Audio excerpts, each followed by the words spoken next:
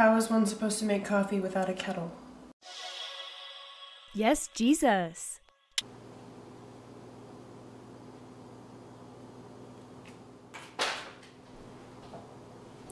Oh, uh, and I found the kettle.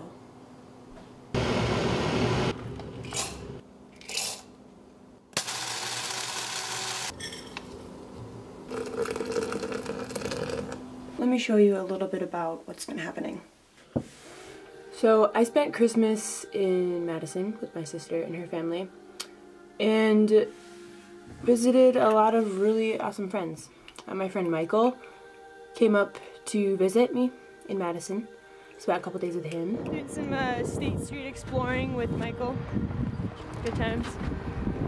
Welcome Yeah. to Wisconsin. Tons. It's also very cold in Wilmington. I like cold. this Brian made for it at all. Okay, Michael's about to try a pasty, which is like a northern Wisconsin, like Yooper delicacy. So take a bite, tell me what you think. Oh yeah. Straight out of KC. See ya. Yeah. Bye. Get out of the cold. Go. I will. And then my friend Paige, you know, friend Paige, she uh, spent Christmas with me at my sister's place. It is December 23rd, and I'm on my way to pick up Paige. We're just here enjoying a little cheeky Netflix fire. you know how it is.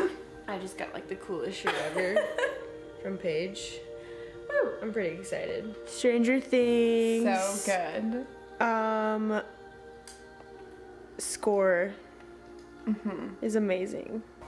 You are like that one piece of artwork in an art gallery that people spend a little longer admiring. Rosa, UK.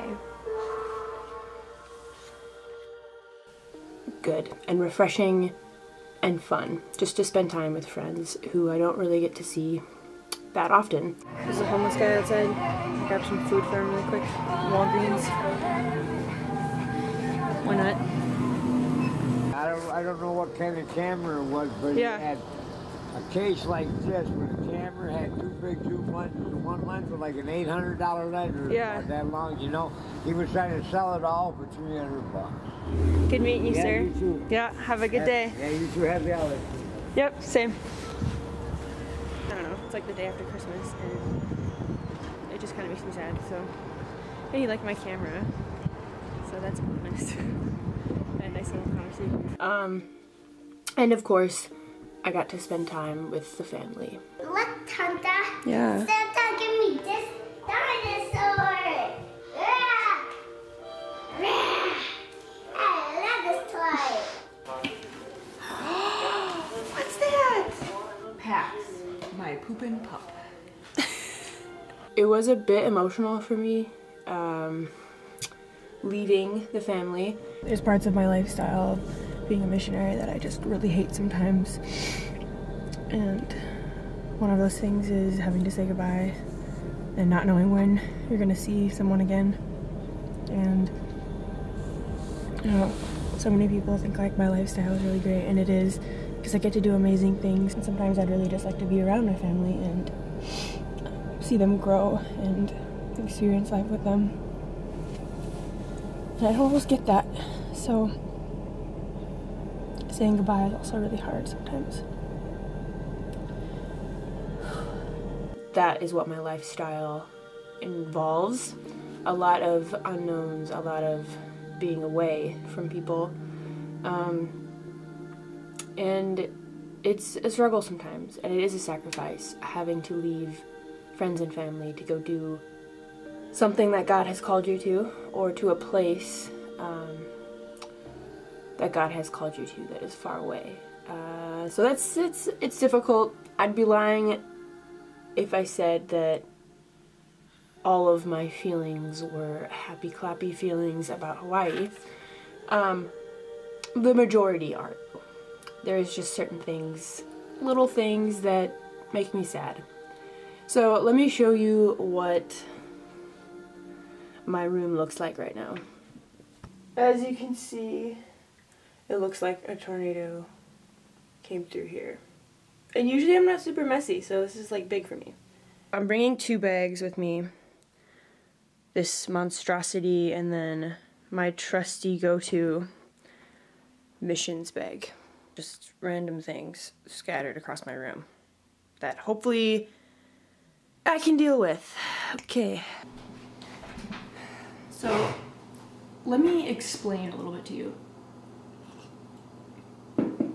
My dad and I are flying out of Wisconsin on New Year's Eve, and we are arriving in Kona on New Year's Eve.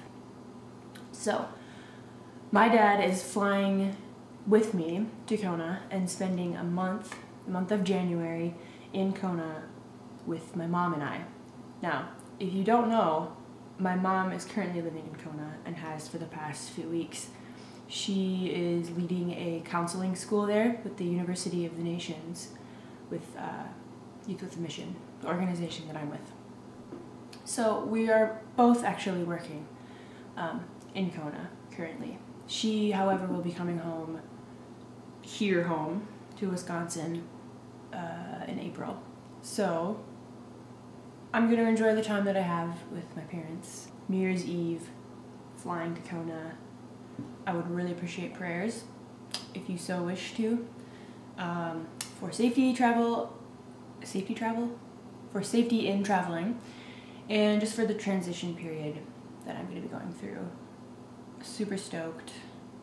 Now I gotta go finish packing because that needs to happen before I leave. So I will see you guys in Kona for the next vlog. But until then, remember to love it and to love life.